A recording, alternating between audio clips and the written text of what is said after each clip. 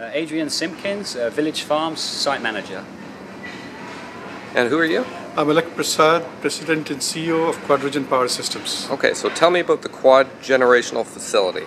So at uh, Village Farms, we're large tomato uh, producers uh, in Delta, BC. Uh, we produce fine ripened tomatoes, various varieties, the, uh, the cherries, the grapes, and the Camparis.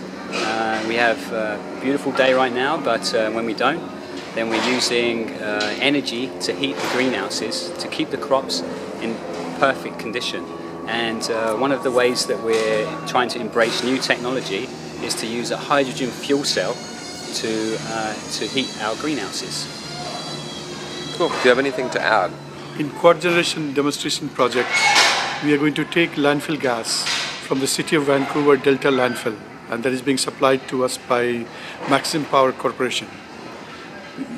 Quadrogen's technology will be used to clean up that gas and to meet the fuel specification of uh, direct fuel cell. Then Quadrogen's S2 booster technology will be combined with uh, fuel cell energy uh, separation technology. And this will allow us to co-produce four value streams, power, heat, hydrogen, and CO2. Heat, CO2, and power will be utilized by uh, village farms uh, for greenhouse application, and hydrogen will be used for industrial application. And when do you expect this facility to be built and ready to go? This will be in Q2 2015. Great. Is there anything else you'd like to add?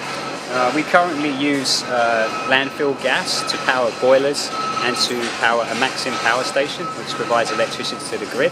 So this new technology will be a, a great way for us to, to keep moving forward with new energy, new energy uses. This four value streams is going to be done for the first time in the world. Like that is the uniqueness of this project. That from landfill gas, four value streams are going to be used for commercial application.